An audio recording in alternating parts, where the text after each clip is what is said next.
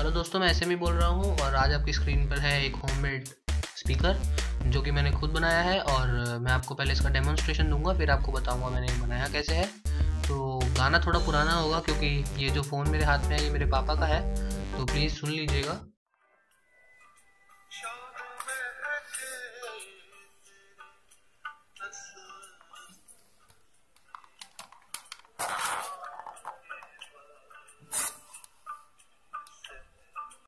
इसको मैं थोड़ा आगे कर देता हूँ जिससे आपको आवाज़ क्लियर आए बिल्कुल।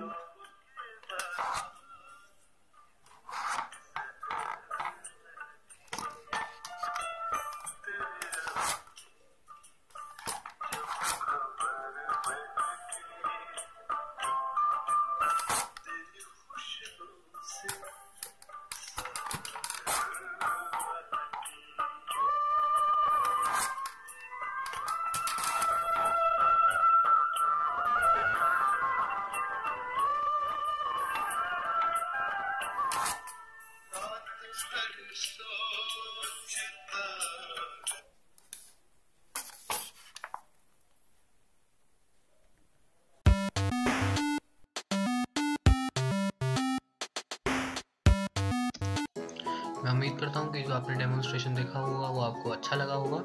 तो चलिए मैं आपको बताता हूँ कि मैंने ये बनाया कैसे है। तो चलिए पहले इसके हिस्सों को मैं अलग कर देता हूँ।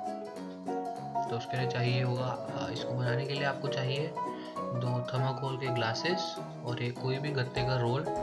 फॉइल पेपर का जो रोल होता है, जब ख़त्म हो जाता है, वो रोल या आप कोई भी रोल बना सकते हैं। मैंने एक गत्ते को लेकर ऐसे रोल कर लिया है, जिससे वो पूरा सर्कुलर नहीं बना है, थोड़ा पिरामिड टाइप्स का बन गया है।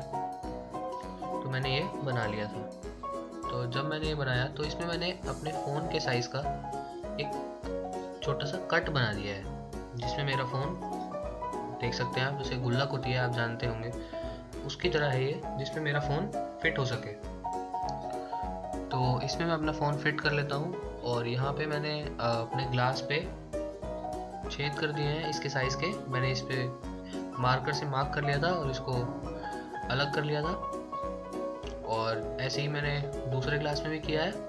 आप देख सकते हैं। तो अब बस हमें क्या करना है? इन क्लासेस में ये वापस सिलेंड्रिकल या पिरामिडिकल रॉड टाइप की चीज़ को हमें वापस फिट कर देना है। तो हम इसको वापस फिट कर रहे हैं और हमारा होममेड स्पीकर तैयार है। जैसे हमने ये फिट किया है, बस हम, हमारा काम हो गया है, हम इसमें अपना फ़ोन रख सकते हैं और इसे स्पीकर की तरह यूज़ कर सकते हैं। और मैं शुक्रिया करना चाहूँगा हमारे टेक्निकल गुरुजी गौरव सर का, जिन्होंने मेरे चैनल को इतना आगे बढ़ाया। और मैं आपको बताना चाहता हूँ दोस्तों कि ये जो मैंने वीडियो बनाई है, ये उसी ट्राईपॉड से बनाई है जो मैंने पिछली बार ही आपको वीडियो में दिखाया। अगर आपको मेरी ये वीडियो अच्छी लगी हो तो प्लीज़ इसे लाइक कीजिएगा। आप कमेंट भी कर सकते हैं अगर आपके कोई क्वेरीज हैं या आपके कोई सजेशंस हैं। और अभी के लिए इतना ही। जय हिंद, वंदे मातरम।